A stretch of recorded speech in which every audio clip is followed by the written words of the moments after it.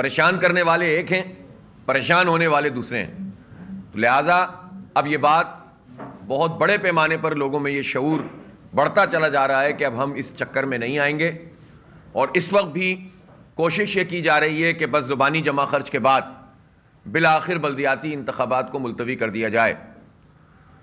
जमात इस्लामी वाहिद party है, एक party है जो पूरी कुत से इसकी मुखालफत कर रही है।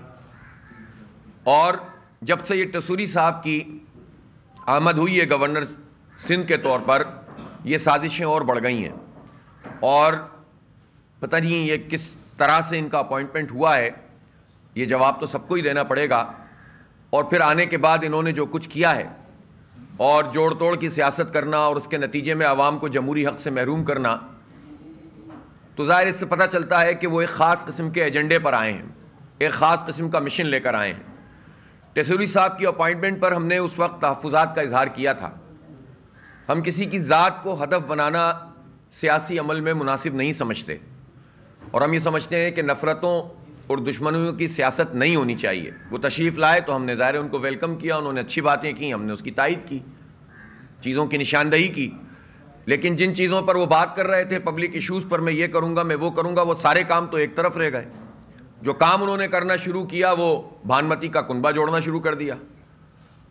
और फिर उसके बाद ज़ाहिर है कि जब चीज़ें पता चली हैं तो पता चला कि ज़ाहिर है इनका तो अपना एक, यानी कैसे गवर्नर का तकर्र किसी फ़र्द का हो सकता है, जिसका वाज तौर पर क्रिमिनल रिकॉर्ड भी हो, और वो क्रिमिनल रिकॉर्ड एक तो वो केसेस होते हैं ना जो पॉलिटिकली बना दिए जाते हैं।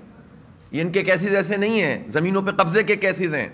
दुबई तक में इनके ऊपर जो है वो मुकदमात बने हुए हैं।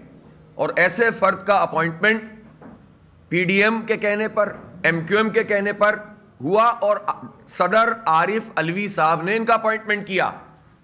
मैं हैरान हूँ कि आज मैंने पीटीआई का एक बयान पढ़ा कि हम सदर को ख़त लिख रहे हैं कि टेसूरी साहब सियासत में पार्टिसिपेट कर रहे हैं। लेकिन ज़रा पीटीआई वाले सदर साहब से ख़त लिखकर यह भी तो पूछ लें कि उन्होंने इनका अपॉइंटमेंट किस बेस पे किया है। एक तरफ़ अपॉइंटमेंट करें आप और दूसरी तरफ़ फिर जो है आप एतराज़ भी करें तो ये कौन सी बात है? लिहाजा गवर्नर साहब को भी अब अगर उनका अपॉइंटमेंट हुआ हुआ है तो एक अलग मसला है कि किस तरह से हो गया है, कौन लोग लेकर आए हैं। इतना बड़ा जो है वो ज़मीनों पे कब्ज़े का, तिजोरी टावर जैसे मुकदमात सबके सामने हैं, वो गिरा भी था।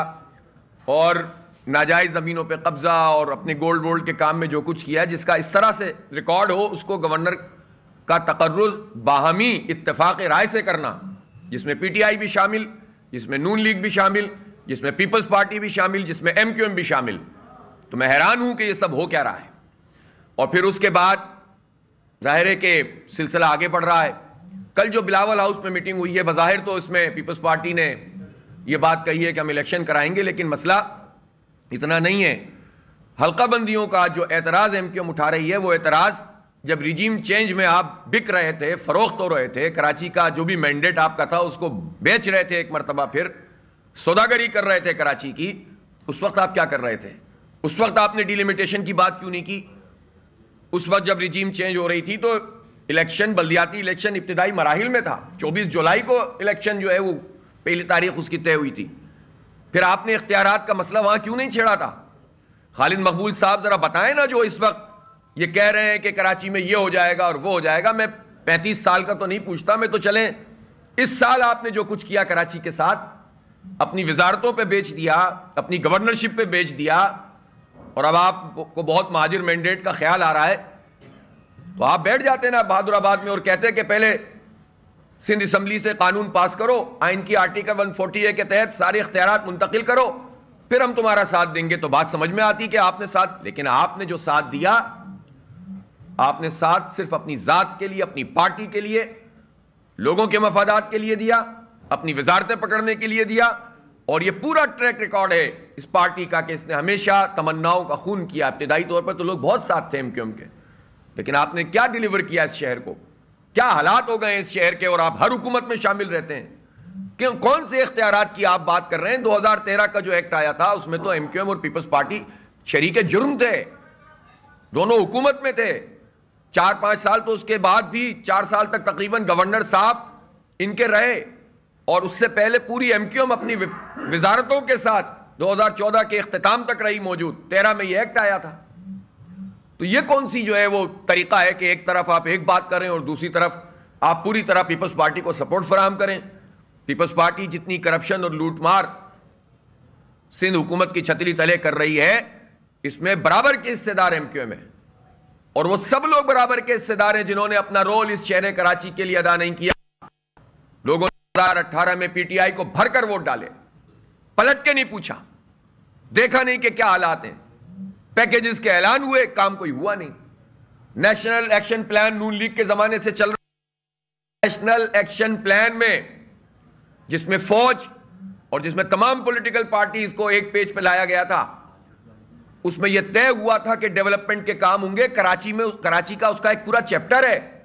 मैं पूछना चाहता हूँ फौज से भी और तमाम पॉलिटिकल पार्टीज़ से, हुकूमत से, उस नेशनल एक्शन प्लान में कराची के इंफ्रास्ट्रक्चर डेवलपमेंट यहाँ लोगों को रोज़गार देना, यहाँ से मनशियात के अड्डे खत्म करना, ये सब चीज़ें उसमें शामिल हैं।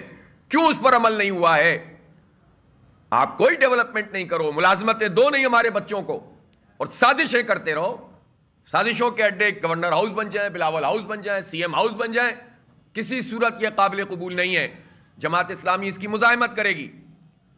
इलेक्शन को अब पंद्रह जनवरी को होना चाहिए। कोई दूसरी सूरत नहीं है।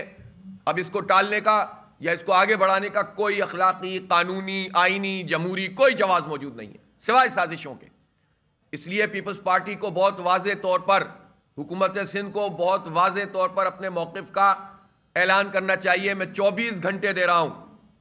24 घंटे में अगर हुकूमत सिंध ने वाज तौर पर ऐलान नहीं किया और जो पिछला खत इलेक्शन कमीशन को भेजा हुआ है, वो वापस नहीं लिया तो हम सीएम हाउस पर धरना करेंगे। और फिर हालात की ज़िम्मेदारी सीएम साहब पर होगी, पीपल्स पार्टी पर होगी। 24 घंटे में आप वाजे करें, खत को वापस लें, क्लियर करें चीज़ों को।